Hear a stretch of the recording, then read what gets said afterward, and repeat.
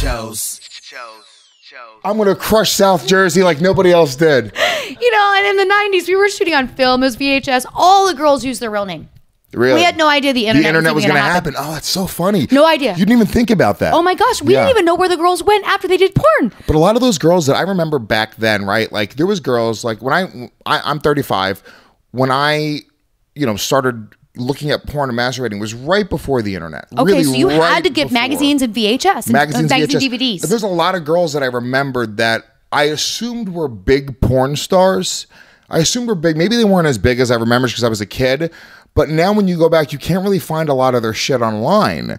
Like there's very little because it was on tape and whatever it was, they didn't. I know that they had to shoot more than that. Well, like Christy Chloe Canyon. Jones. Christy Canyon's a good example. She's with she's with Vivid Radio on Sirius, and I go to see her a couple times a year. She loves the fact that because all of her shit was shot on VHS and film, the quality never transferred right to DVD, so they never bothered putting it onto the internet. So her stuff never went online. So she's got to live this totally double life. Yeah. And none of the internet kids know who she is. There's a lot. There's a So lot of girls like that. Even like like if you go to X videos Chloe right now, James would be one of Chloe them as Jones, well. yeah. Uh, even Jenna Jameson. There's not a lot of her None stuff. of her shit made it to the internet. There's not a lot. No. Like you, you look at Jenna Jameson, you try to find like there's only a handful of And videos. it's not She was fucking huge. She was huge. She shot. I mean, had to shoot hundreds of. No, she only shot probably about 25 movies in her career. Ever? In the 90s, as contract girls, we only shot one movie a month.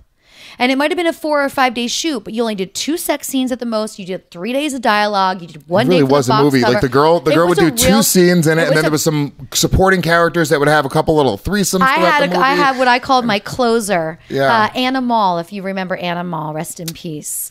Uh, Anna Malle was my anal closer. So when you were a contract girl, there were things you couldn't do. Yeah. They told you right off the bat you can't do interracial. I was so offended. Right. First fucking thing I did when I left my contract was interracial. Yeah. Um, I couldn't do anal. I couldn't do multiple They guys at a time. interracial. No, because it was selling to cable at that time, and as a contract star, you your movies had to be softcore and hardcore. So they could do the edits and they for could do the edits, Cinemax. and they wouldn't even sell the movie with the anal scene in it to anything other than the the brick, brick and mortar stores on Yeah. the VHS. So it was this weird thing back then of how different it was. We had we had craft services. There was like. 50 extra people on set because you're using a real lighting crew. Now it's like some handheld one Hmm. dude. When I first came back and did Gonzo, I was a little creeped out. I was like, this is really intimate. Just Yeah, me, the is- guy, makeup artist already left. Usually the makeup artist stayed on set all day and fixed me up. Like, what the fuck?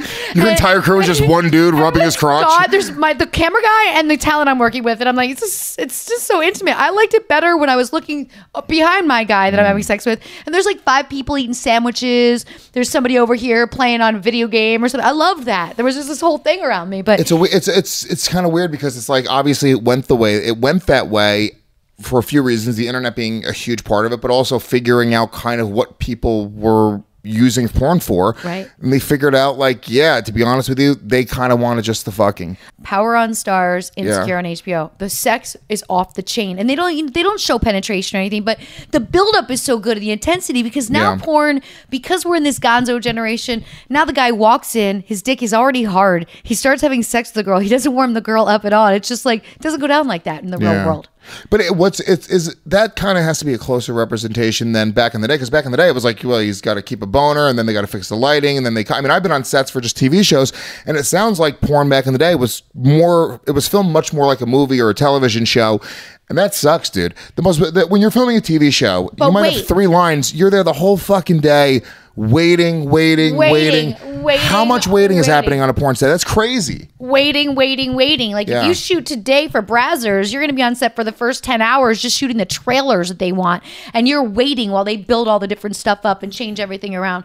But what was neat about the 90s was there was no Viagra. So that you had to be so connected with your male talent. Yeah. And you guys would have to go into a room by yourselves and keep his dick hard while they're relighting the room. so you guys would just go fuck around in the and room we'd fuck for hours. Oh, So it was like four hours by the time the You'd scene was done. you'd go fuck again. because because you want to keep this guy going. You don't want him to have to go up and down and up and down. So And that's why you hear about girls who would say they only worked with like four or five guys Right. back in the day, and that was it. That was they would film whatever, however many movies or scenes, Yeah. but they just had you know four partners, and you know the the rumor is that they're these big whores, but the reality is they're not fucking anywhere near as much as the average girl on a college campus who's just Right. letting every dude fucking. right.